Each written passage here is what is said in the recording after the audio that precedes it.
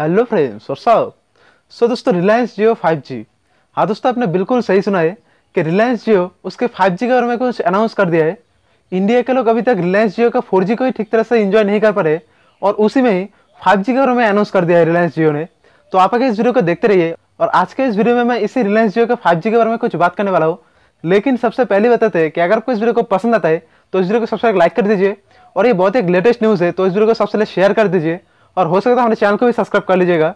So let's begin so दोस्तों Reliance Jio Infocom के president Mathew Oommen. ये ओमेन मतलब ऐसा ओमेन नहीं है। ये ओमेन का स्पेलिंग है double O double M E N तो इसने रिलायंस जियो फाइव जी के बारे में कुछ बात बताई है कि गवर्नमेंट पिछले महीने कुछ हाई लेवल पैनल लगाए हैं, जिसके तहत 500 करोड़ के रिसर्च एंड डेवलपमेंट के बाद अभी रिलायंस जियो फाइव जी के बारे में कुछ रोल आउट करने वाला है। वो करने वाला है 2020 में। पहले तो सुनने आता था कि 2021 में 5G रोल आउट होगा, लेकिन अभी बोल रहे हैं कि 2020 में ही वो रोल आउट कर दिया जाएगा। और गवर्नमेंट ये बोल रहे हैं कि हम अभी 5G पे फोकस कर रहे हैं, और इसके तहत हमारे इंडस्ट्री और टेक्नोलॉजी के बीच हमारा कम्युनिकेशन और भी बढ़ जाएगा। मतलब बॉन्डिंग बहुत ही अच्छा होगा।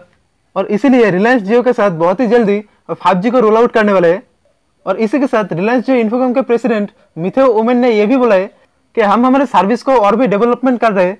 और और भी अच्छा 4G सर्विस को और भी बेहतर बनाने की कोशिश करे, लेकिन साथ में 5G को भी ध्यान में रख रहा है।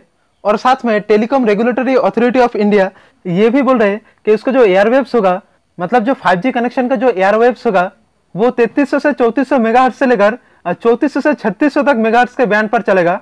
मतलब रिलायंस जियो को, इतने बैंड्स को इनेबल करना होगा, उसके बाद ही 5G को ऑफ़र किया जाएगा। मतलब रिलायंस जियो को 5G को हम तक पहुँचने के लिए रिलायंस जियो को और भी बहुत ही ज़्यादा उसके नेटवर्क को बेहतर करना होगा। उसके बाद हम तक ये 5G नेटवर्क पहुँच पाएगा।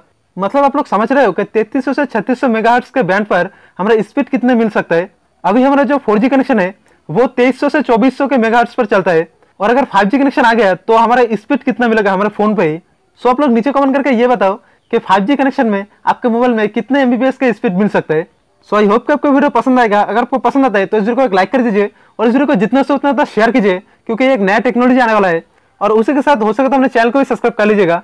So thank you friends thanks for watching and always keep smiling